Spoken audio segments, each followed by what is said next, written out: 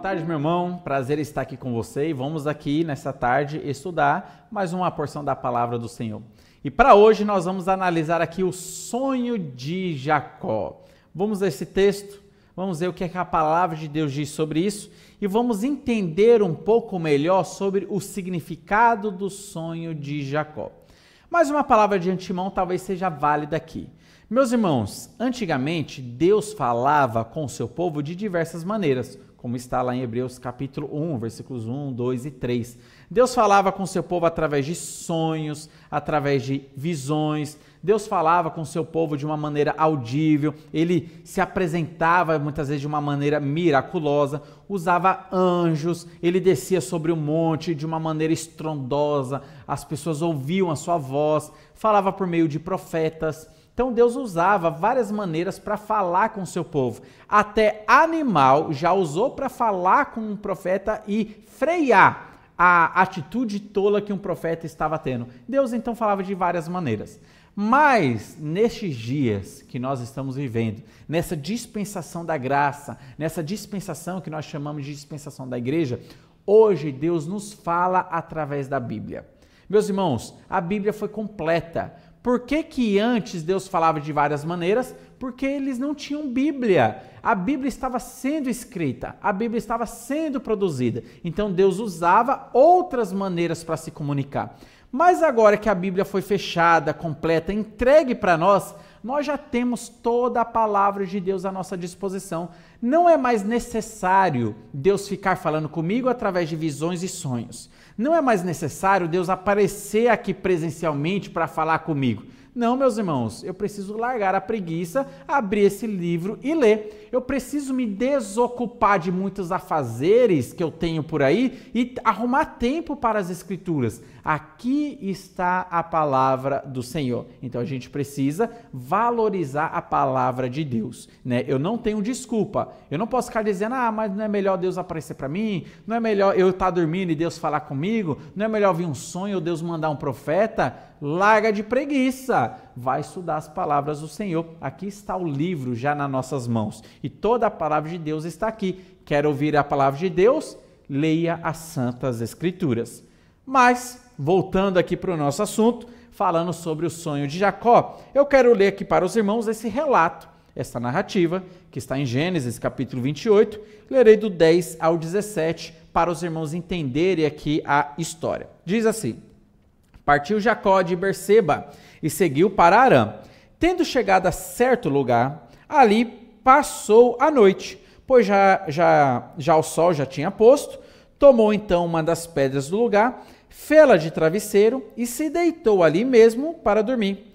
E sonhou: eis posta na terra uma escada, cujo topo atingiu o céu e os anjos de Deus subiam e desciam por ela. Perto dele estava o Senhor e lhe disse: Eu sou o Senhor, Deus de Abraão, teu pai, e Deus de Isaque.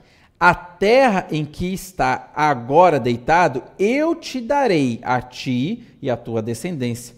A tua de descendência será como pó da terra.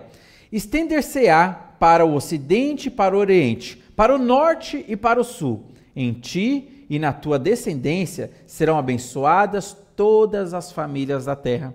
Eis que eu estou contigo e te guardarei por onde quer que fores, e te farei voltar a esta terra, porque te não te desampararei, até cumprir eu aquilo que hei referido a ti. Despertado Jacó do sono, disse: Na verdade, o Senhor está neste lugar e eu não sabia. E temendo disse: Quão temível é este lugar! É a casa de Deus, a porta dos céus. Meus irmãos, nesse relato maravilhoso, nessa narrativa magnífica, nós temos aqui um sonho profético, a qual então Deus ele deu aqui para Jacó. Jacó, fugindo do seu irmão, seu irmão Esaú queria matá-lo por causa da briga familiar que estava tendo ali, então ele foge para Arã. Nessa fuga, no meio do caminho, então ele precisa descansar. Ele correu muito, ele estava suando ali, ele precisava parar para dormir. Agora a noite chegou, ele não tinha lanternas, naquela época não existia essa energia elétrica que nós usamos hoje, não tinha postes nas ruas, ele estava andando no campo aberto, ele estava correndo, então ele precisava descansar. Então, na sua dormida, ele escolhe ali um travesseiro bem macio, pega aquela pedra ali, põe ali e deita sobre ela. E Deus fala de uma maneira especial para Jacó. E aquilo que Deus falou para Jacó, ele também fala para nós hoje. Jacó, meus irmãos, ele teve um sonho onde uma escada foi posta na terra. E essa escada que foi posta aqui na terra ligava a terra com o céu. Olha, Deus estava mostrando algo a partir daquela escada. Meus irmãos, nessa escada, os anjos de Deus subiam e desciam. E Deus então mostra esse cenário, mostra isso aos olhos de Jacó. Meus irmãos, o que, que essa escada significa? O que esse sonho tem para dizer para nós? Meus irmãos, perceba bem o cenário: uma única escada ligando a terra com o céu. Um único meio onde o homem pudesse chegar até o céu era aquela escada. Parece que Deus era como se Deus estivesse falando assim para Jacó: Jacó, você está vendo a, a, qual maneira de chegar até Deus, chegar até o céu, chegar até a mim? Ó oh, Senhor, é só através dessa escada que eu estou vendo aqui. Jacó, tem outras escadas? Não, não tem nenhuma outra escada. Tem algum tipo de elevador que possa fazer você subir ao céu? Não, Senhor, não tem nenhum tipo outro de elevador. Tem alguma corda que você possa jogar para alcançar o céu? Não, não tem. Tem alguma maneira que você possa fazer para subir para o céu? Se você pode construir uma torre até o céu? Não, não dá. Qual é o único meio, Jacó? Sim, o único meio é essa escada e os anjos de Deus estão subindo e descendo sobre essa escada. Meus irmãos, esta escada, esse sonho tem um significado profético. Está apontando para Jesus Cristo, que é o único meio de salvação. O que, que a Bíblia está nos ensinando? Aquilo que Jesus Cristo disse. Jesus ele falou: Eu sou o caminho, a verdade e a vida. Ninguém vem ao Pai a não ser por mim. Meus irmãos, o que, que a Bíblia está nos ensinando? Que para ir até Deus só existe um único caminho, que é Jesus Cristo. Jesus veio aqui na terra, morreu pelos nossos pecados e abriu o caminho para o céu. É através de Jesus Cristo. Quando uma pessoa se arrepende dos seus pecados e aceita a salvação de Deus, ela então recebe esta vida eterna. Ela está trilhando nesse único caminho de Deus. Não existe outros caminhos para levar ao céu. Religiões não levam ao céu. Religiões não são escadas que levam a Deus. Boas obras não levam ao céu. Boas obras não são escadas que levem a Deus. Ah, eu, eu fazer o bem e deixar de fazer o mal não leva a Deus. Tudo isso não são escadas para nos conduzir a Deus.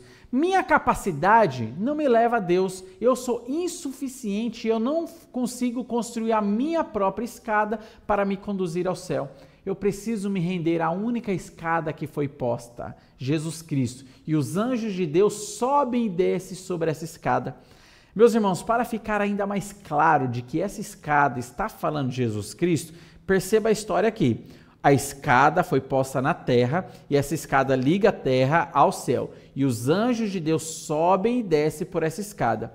Agora, olha só o que diz João, capítulo 1, versículo 51. Olha só o que Jesus Cristo disse sobre ele mesmo. E perceba a referência com o sonho de Jacó. Jesus ele diz assim: "E acrescentou: Em verdade, em verdade vos digo que vereis o céu aberto e os anjos de Deus subindo e descendo sobre o Filho do homem." Meus irmãos, olha só como a Bíblia é magnífica. Olha só como os detalhes se encaixam. Olha só como as peças foram feitas para se encaixar perfeitamente uma na outra. Olha só como profecias do Antigo Testamento se cumpriram com exatidão no Novo Testamento. Aquilo que Jacó sonhou, que Deus estava falando por meio de Jacó, cumpre-se literalmente agora em Jesus Cristo. A única escada, o único meio de salvação que pode conduzir o homem a Deus. E a gente mostra que é um plano divinal, onde os anjos de Deus estão subindo e descendo sobre aquela escada. A gente vê isso agora na vida de Jesus Cristo. os céus abertos, a escada que foi posta na terra, Jesus Cristo, ele desceu aqui para a terra, nasceu como ser humano normal. E o que, que aconteceu? Ele cresceu, foi desenvolvendo e se apresentou a nós como o Salvador, a escada que pode nos conduzir ao céu. E ele fala: logo em breve vocês verão céus abertos e os anjos de Deus subindo e descendo sobre o Filho do Homem, mostrando que ele é o único meio e o único caminho de salvação. Meus irmãos, aqui está o significado profético do sonho de Jacó. Logo nesse sonho, Deus se apresenta para Jacó e repete aquelas bênçãos abraâmicas que foi feita para Abraão, passou para Isaac, estava passando agora para Jacó. Que bênção é essa?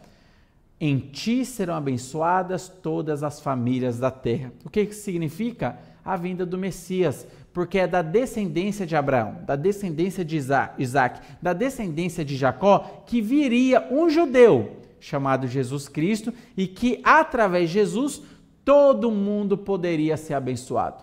Assim como todo mundo foi amaldiçoado em Adão, assim todo mundo pode ser abençoado através de Cristo Jesus por isso que as palavras são: em ti serão abençoadas todas as famílias da terra. É a bênção da salvação. A escada que foi posta não está longe de ti. A escada que foi posta não está distante da humanidade. Pelo contrário, a escada que foi posta está perto de nós, foi colocada na terra e nos liga para o céu.